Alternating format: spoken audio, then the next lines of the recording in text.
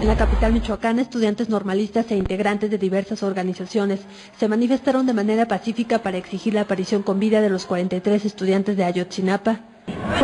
El responsable directo de los crímenes de Estado y de la humanidad. Los contingentes partieron del obelisco Lázaro Cárdenas y concluyeron su recorrido en las instalaciones de la Procuraduría General de la República Delegación Michoacán. En la dependencia federal se implementó un operativo de seguridad para tratar de impedir que la manifestación se tornara violenta. Según versión de los manifestantes, la intención de la protesta fue una acción pacífica y no de agresión. Además, denunciaron la presunta infiltración de personas ajenas a su movimiento. Anunciaron que en próximos días prevén la visita de padres de familia de normalistas de Ayotzinapa a Michoacán.